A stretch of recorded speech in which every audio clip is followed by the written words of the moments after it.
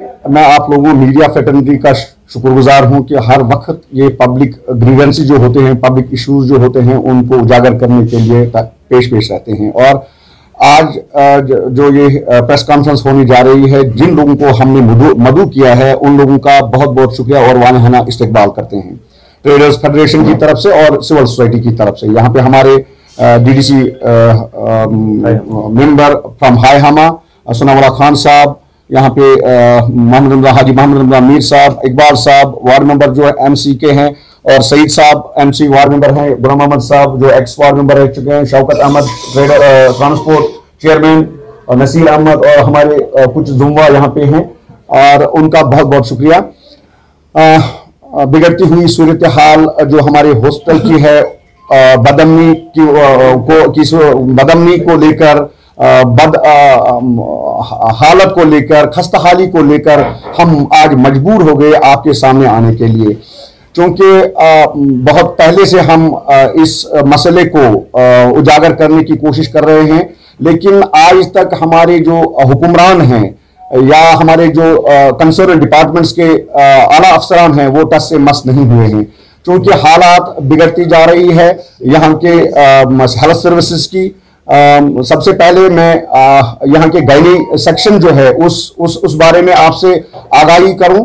Gynae sections में हमारे यहाँ पे B U M S doctors होते हैं, क्योंकि डिस्पाइट के हमारे पास गायनिकोलॉजिस्ट तकरीबन पाँच यहाँ पे मौजूद हैं, लेकिन एक मिसाल दे रहा हूँ, हायहामा की एक बच्ची जिसका जो एक्सपेक्ट कर रही थी तीसरा बच्चा या दूसरा बच्चा था। वो अपना मरा हुआ बच्चा पेट में लेके साढ़े आठ बजे उसने एडमिट कार्ड निकालकर अपने वार्ड में एडमिट हो गई। उसके बाद साढ़े चार बजे तक उसके पास कोई डॉक्टर नहीं गया डॉक्टर कहाँ पे थी? डॉक्टर अपने क्लिनिक पे थी। जब ज़्यादातर जो डॉक्टर साहिबान यहाँ पे हैं, उनका सिर्फ़ और सिर्फ़ एक ही मकसद है, वो हमारे पेशेंट्स को प्राइवेट क्लिनिकों पर उनको देखते हैं। देखने के बाद वो क्या कहते हैं कि हॉस्पिटल में कोई फैसिलिटी नहीं है आप प्राइवेट में जाइए। नाइट अवर्स की बात कहूँ वहाँ पे आ, किन लोगों को रखा जा रहा है? सिर्फ़ दो सौ रुपए के अवर्स वहाँ पे एल स्कूल के बच्चे होते हैं जो स्टूडेंट्स होते हैं उनको रखा जाता है। और उनको सिर्फ़ दो सौ रुपए दिए जाते हैं। और बाकी जो एम्प्लॉयज़ हैं जो परमानेंट एम्प्लॉयज़ है वो गायब रहते हैं।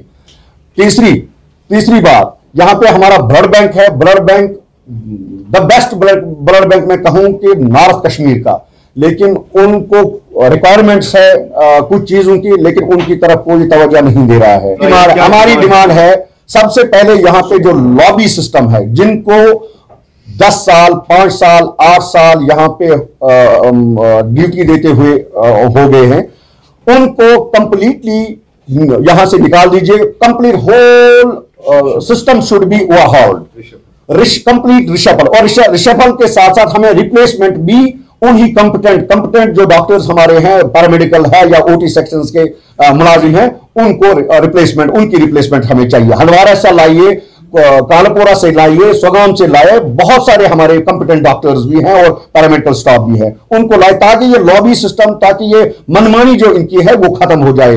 आजकल के आजकल के वक्त में मैं ये सुन, ये भी सुनने को मिलता है कि कोई पेशेंट उनसे कहता है कि आप अगर हमारी खातिरदारी नहीं करोगे तो हम डीसी साहब को फ़ोन करेंगे। वहाँ से क्या जवाब मिलता है? जाओ बोलो। ये नाइंसाफी है। इस नाइंसाफी को रोकने के लिए हमें एकजुट जा, हो जाना है। आप लोगों को भी और हमें भी हर फर्द बशर को ए, एक साथ मिलना है और इस नाइंसाफी को रोकना है। डॉक्टर्स हैं जिन्होंने क्वार्टर्स ले लिए हैं लेकिन एचआर कोई बरता नहीं है। और हमारा जो एच फंड है वो यूटिलाइज होता है किस पे? क्वार्टर की रिपेयर रिपेयरमेंट की। मुझे कल ही पता चला कि आठ लाख रुपए एक क्वार्टर को रिपेयरमेंट में लगाए गए। हमें उस, उसकी रिपेयरमेंट नहीं करनी है। उनकी रिपेयरमेंट उन लोगों की करनी है जो उन पे रिजाइड कर रहे हैं। वो डॉक्टर हैं पैरामेडिकल स्टाफ है, या कोई डीएचओ है या सीएमओ है। ये ये फंड्स जो है, वो सिर्फ़ पेशेंट केयर के लिए जो है। बीएम बीएमओ जो है, वो नाम का है, काम का नहीं है। उसको साइडलाइन किया जाता है एक लॉबी और उसको वो बेचारा हेल्पलेस हो गया है, उस उस तक कुछ नहीं रखा गया है। हमें एम एस दर्जे का हमें कोई ऑफिसर दे दीजिए जो इसको चला सके। ये एक बहुत बड़ा हॉस्टल बनने जा रहा है। डीएनबी स्टार्ट होने वाला है। डीएनबी डिप्लोमेट नेशनल बोर्ड इसका मतलब है कि बहुत बड़ा हॉस्टल बनने जा रहा है, जिसकी अभी भी कोई रिक्वायरमेंट है, लेकिन ये लोग परस्यू करने में नाकाम रहे हैं। अगर ये परस्यू करते तो मुझे लग रहा है कि आज यहाँ पे वो डिपार्टमेंट वो डीएनबी हॉस्टल चालू हो, हुआ। यहाँ पे बोर्ड चलाए गए हैं, बहुत सारे डॉक्टर्स हैं, जिनकी वो डिग्रियाँ नहीं है। वो वो वो एलिजिबल नहीं है, वो उनकी उनकी उनकी डिग्रियाँ वहाँ पे नहीं है, जो वो बोर्ड चला रहे हैं। इसका मतलब है हमारे पेशेंट्स को धोखे में रखा जाता हम चाहते हैं कि हमारा सिस्टम यहाँ पे ठीक हो, और हमारा ज़ोर जो है, सिर्फ़ और सिर्फ़ ये ये बेटरमेंट इसमें आ जाएगी। शर्त यही कि कंप्लीट रिशफल होना चाहिए। अगर अल्टीमेटम भी देते हैं कि वो पंद्रह दिन के अंदर अंदर इसका सदभाव करें इसको देखें जो हमारी डिमांड है उस पर काम करें। शोभत साहब कुछ मेडिकल ऑफिशियल्स आप लोगों पे ट्रेडर्स पे इल्ज़ाम लगा रहे हैं कि ये अपने मसले नहीं उजागर कर रहे हैं प्रेस कॉन्फ्रेंस के ज़रिए लेकिन हम पे इल्ज़ाम लगा रहे हैं। हम्म, तो इसमें आपका क्या कुछ कहना है? बिल्कुल आप मेरे आप मेरे एफ़ बी पोस्ट पे, पोस्ट भी देखे होंगे देखते होंगे। दूसरा कि आप भी मेरे ऑफ़िस में प्रेस कॉन्फ्रेंस में शमूल आप लोगों ने शमूलियत की। मैंने तकरीबन दो तीन मसले जो हमारे ट्रेड रिलेटेड हैं, उनको उजागर किया है। आप मेरे ऑफ़िस में आ जाइए, या जिसको भी शक है, वो कम्युनिकेशन एक कम्युनिकेशन जो हमने की है आज तक रिलेटेड टू दिस ट्रेड तो मैं ओपन हूँ और अगर मैं दिखा नहीं पाया तो मैं जुर्मदार यहाँ ट्रेडर्स फेडरेशन है ट्रांसपोर्ट एसोसिएशन है म्यूनिसपलिटी के मेम्बरान वार्ड मेम्बरान साहिबान है सिविल सोसाइटी के लोग हैं, बाकी जो लोग हैं, उन सब लोगों का भी शुक्रिया अदा करता हूँ कि इन्होंने एक पब्लिक इशू जो है, जो आवाम का एक इशू यहाँ है, जो पिछले कहीं 20 सालों 25 सालों से चल रहा है यहाँ ये कुपवाड़ा का अस्पताल कि इस पर इन्होंने ध्यान दिया और इसमें शमूलियत के, इनका भी शुक्रिया अदा करता हूँ।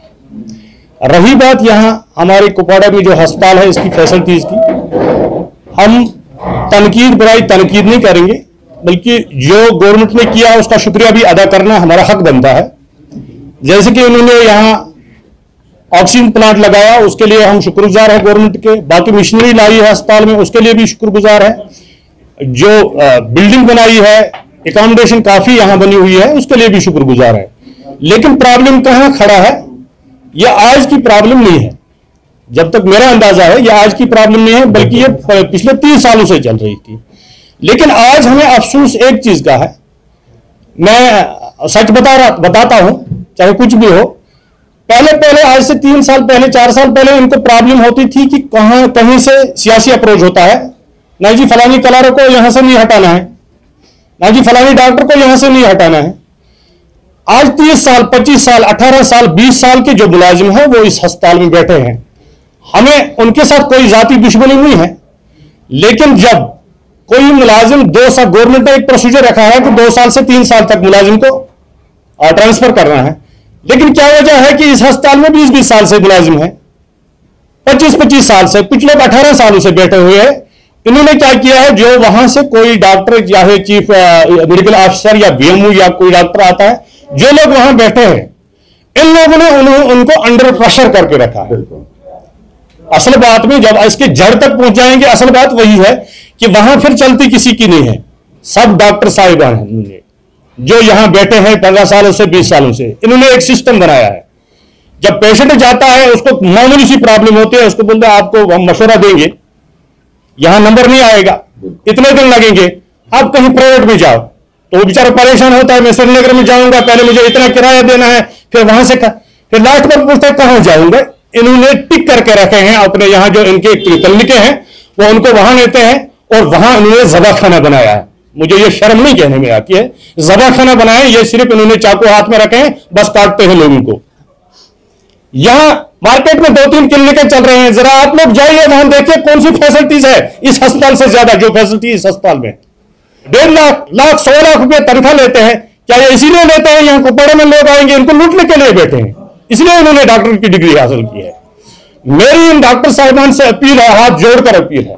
खुदेरा जो पपाड़ा के लोग हैं, ये बॉर्डर एरिया है, ये तीन किलोमीटर की सरहदी पट्टी पर लोग बसने वाले हैं। इनके पास कोई सहारा नहीं है।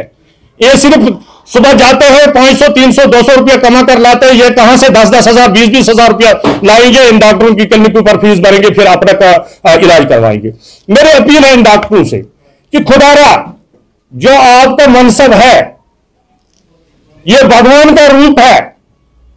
ये अल्लाह तला का रूप है। भगवान आप लोग नहीं है, लेकिन अल्लाह तला का रूप है। आप लोगों को, लोगों की फैसिलिटी देनी है। आप लोगों को ये नहीं कहना, आप पैसे कमाने के लिए यहाँ नहीं आए। क्या करेंगे इन पैसों को? कल आप लोगों के शुक्रगुजार है आपने वहाँ फैसिलिटीज़ रखी है। हम उसके लिए शुक्र शुक्रिया गवर्नमेंट का करते हैं। लेकिन जो वहाँ मामले हैं पच्चीस साल से पहले पहले जो मामले हैं वो वही है जहाँ थे।